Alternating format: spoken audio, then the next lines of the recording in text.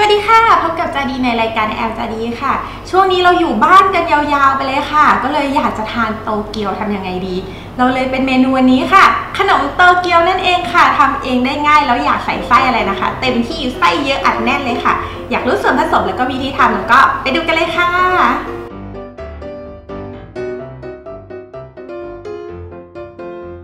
เริ่มทำขนมโตเกียวกันค่ะ ส่วนผสมจะมีจะมีจะดีมีอย่างแรกเป็นไข่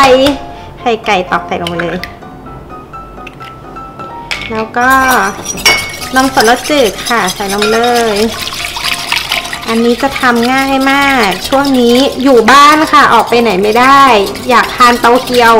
ทำทานเองเลยน้ำตาลทราย กลิ่นวานิลาค่ะ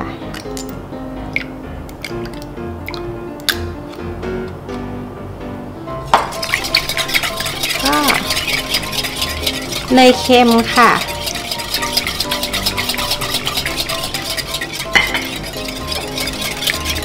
ผงฟูสุดท้ายแล้วค่ะ แป้งอเนกประสงค์ค่ะ คราวนี้ก็คนส่วนผสมทุกอย่างให้เข้ากันเนียนกิ๊บไม่มีเป็นเม็ดๆเลยค่ะ ก็จะใช้ได้แล้วค่ะ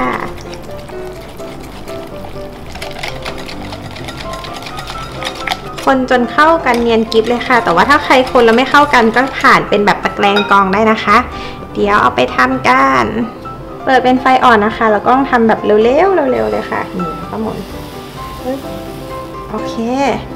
แล้วก็ทำนวดระหว่างนี้เราต้องใส่ไข่อย่างรวดเร็วนิดเดียวเลยนะคะเหมือนแบบไข่นกกระทาชิ้นเล็กๆหมูสับอย่างรวดเร็วปึ๊บปึ๊บปึ๊บใส่กรอก พริกไทยนี่เขาเริ่มใกล้สุกแล้วทานไหมเนี่ยแม็กกี้หน่อยซอสจะสุกแล้ว สุดท้ายแล้วเฮ้ยสุกทันพอดีหมุนเลย นี่เห็นไหมแล้วเขาก็จะสุกทันพอดีเลย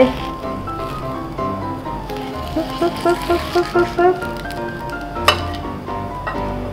นี่ออกมาสวยแบบนี้เลย ใครว่างๆ ช่วงนี้เบื่อๆ ลองทำดูนะคะ เมนูนี้ง่ายมากแล้วก็สนุกด้วยค่ะ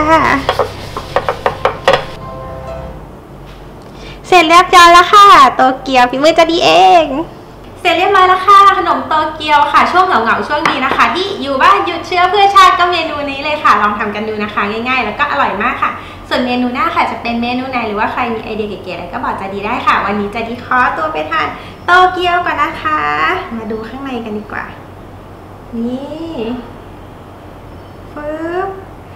นุ่มมากแป้งนุ่มมากแล้วเขาจะหอมเนยด้วยเพราะว่าจะดีใช้เนยแท้ลงไปด้วยแหละทานกันนะ